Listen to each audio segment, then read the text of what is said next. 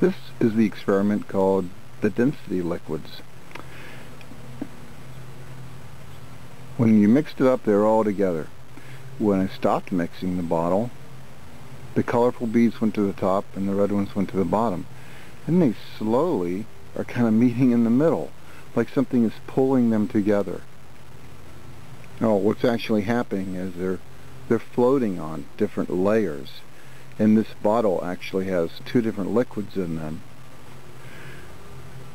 The bottom one is all by itself now. It's the heaviest item. It's, it's the one that sinks to the bottom when they're all mixed together. It sinks to the bottom because it has a higher density. It's more dense, more compact, so it falls to the bottom. It has an actual density rating of uh, 1.03. It's salt water. What's lighter than salt water are a couple of things, three things to be exact. The next lightest thing is these red beads. The next lightest thing is these color beads and the white beads.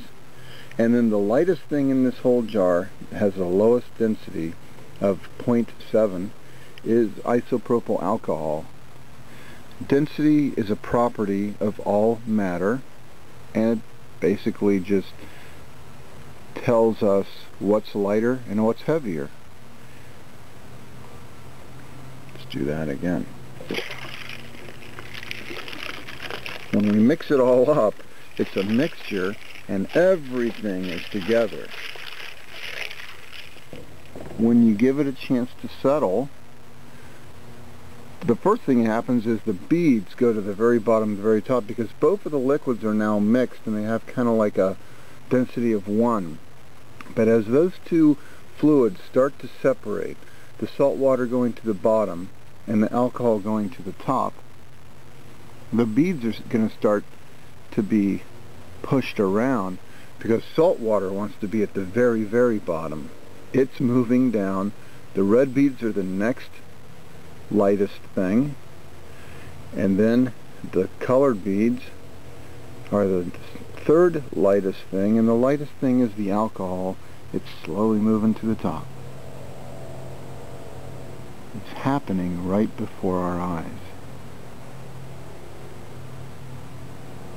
You also might ask, why are my beads colorful that I'm using here outside, and when I take it inside, they turn white.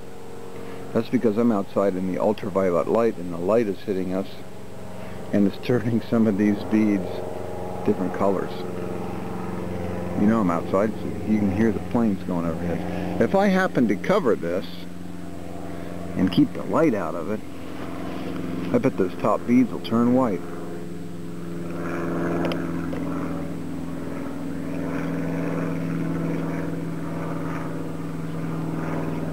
Okay, it's been a couple minutes. cool, they're white again. And now they're slowly turning colors. Actually, it's pretty fast. Ultraviolet light changing color beads.